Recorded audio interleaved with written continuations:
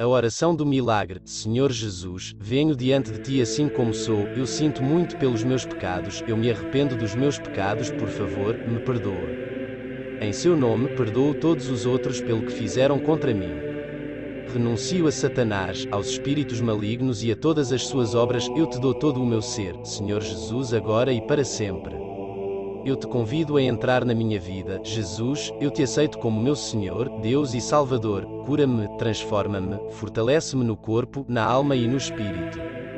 Venha, Senhor Jesus, cubra-me com seu precioso sangue e encha-me com seu Espírito Santo. Eu te amo, Senhor Jesus, eu te louvo, Jesus, eu te agradeço, Jesus, vou-te seguir todos os dias da minha vida. Um homem, Maria, Mãe das Dores, Rainha da Paz, São Peregrino, o Santo do Câncer. Todos vocês, anjos e santos, por favor me ajudem.